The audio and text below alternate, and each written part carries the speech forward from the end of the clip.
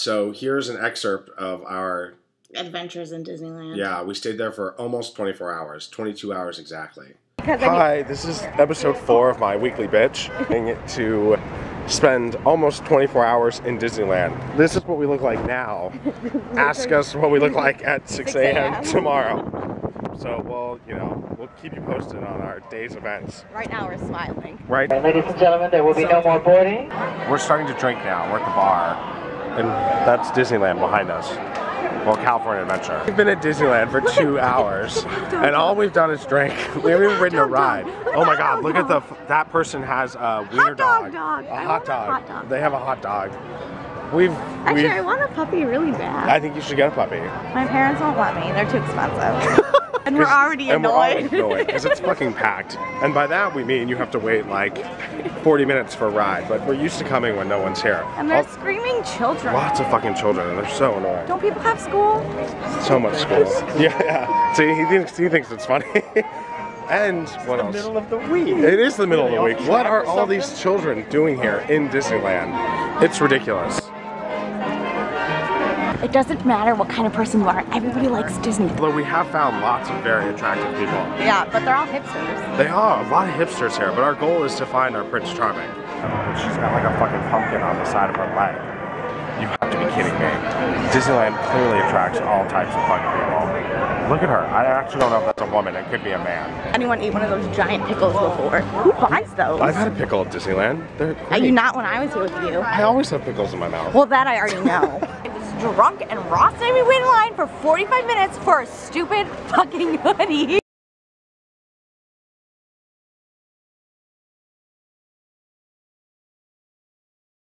I hope you enjoyed our little minimal clip to Disneyland. It was actually a lot of fun. It I was a lot of fun. There were like over 100,000 people there. They had no idea what to expect. Everyone was drinking and on drugs, and lines were like three hours. But I mean, like, the atmosphere was just so cool. Like, it was diehard Disney fans. And, And but I did. I actually became a total loser when I made us wait 45 minutes in a line for a sweater. But but it's okay because there were also like 600 other people in the same line. So I guess it wasn't like that pathetic. waiting. What is it was advertising about how we stayed up for 24 hours to go to Disneyland, and they only selling they were only selling it on that day. So I'm awesome. Yeah, and they sold out of sweatshirts. I I fly Southwest, and it never ceases to amaze me. Never how people can't fucking figure out how to board a Southwest flight. Now I'm pretty sure 95% of the American people have graduated from kindergarten, right? And if you have, you learned A through Z and 1 through 10 at least, right? So I don't understand how someone can't figure out that on their boarding pass it says A1.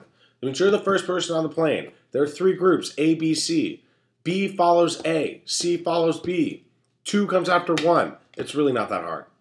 I just think Southwest should buck up and just do assigned seating like everybody else. Oh, I hate assigned seating. I like that I could go and sit where I want, and I can choose who I sit with, more or less. Oh, well, duh, because you are always scoping out everywhere. I am. I like to. I'd like to think that I'll be sitting on a plane one day and fall hopelessly in love, and then become part of the Mile High Club.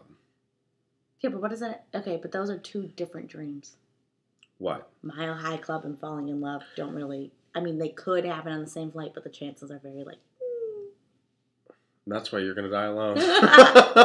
Rush Limbaugh this week had some interesting things to say about women. He basically called any woman that has sex in college a slut and a prostitute, and that taxpayers are their pimps. Good job, Rush Limbaugh.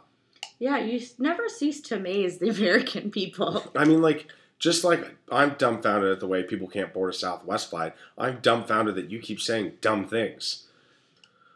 Well, I'm sure Rush Limbaugh would have a lot to say about our next subject, um, Snooki. She is Snooki? Snooki. Snooki, Snooki, Snooki, Snooki, Snooki, Snooki, Snooki. You know who we're talking about. Um, she is pregnant and supposedly getting married. The fact that Snooki's pregnant, I think, is hysterical. Talk about you need an ad campaign for contraceptive use. That should be it right there. And the new poster child. I feel like her child's gonna look like an Ewok. I I mean, like I'm all for women's choice, but I mean, like Snooki, you should just You should do what your ex boyfriend said to, on TMZ and get it vacuumed out. what she said. Kirk Cameron was on Piers Morgan this week, and he said that homosexuality is unnatural and sinful. He has six children. He has six kids, yeah. One of them is going to be gay, Yeah, I- and I he's bet. going to be shot. He's going to shoot himself in the foot. well, they asked him, they're like, well, you have six children. Like, statistically speaking, one of your children is probably gay. And he was like, well, if my child was gay, we would have to have a conversation about, you know, the reasoning behind it and blah, blah, blah, blah, blah. I hope all your children are gay. I hope they're all big, dykey lesbians and flaming homosexuals. And I want to know what you're going to do about it. I wonder which one of my siblings is going to be gay. There's six of us. Yeah, I already know the answer to that question. oh, he talked about defining marriage and that marriage was defined by Adam and Eve. Oh God! I Here was we like, go again. really? I'm like, you were there when Adam and Eve defined marriage? Really? Is he like a born again Christian Yes, or huge, thumper huge Bible thumper. Huge. Jesus freak, whatever. He is. He sucks Jesus' cock. But that's not gay. Because it was Jesus. this show sucks today. Oh, maybe not. I don't really know. We're in a funk. It was. It's been a weird day. We're cycling. You know how that works. Um,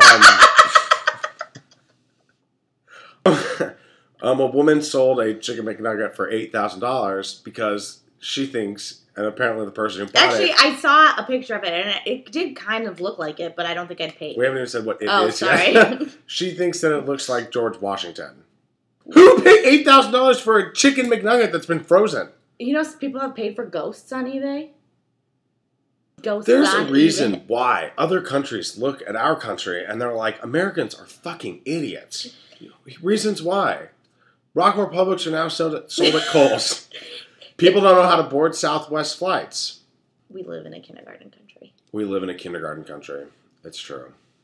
This week's bitch of the week is us because We suck. we suck today. Yeah, we do. We were unprepared. Well, we were prepared, but we're just We're just angsty. we're cycling. My grandparents are in town. I was in New Mexico for a week. and I'm failing my second thesis. I'm proud of myself that I'm not a huge whore anymore. Go flat. Right? Yeah. We don't have a bitch of the week this week. Okay. Yeah. Yeah. So we'll see you next week.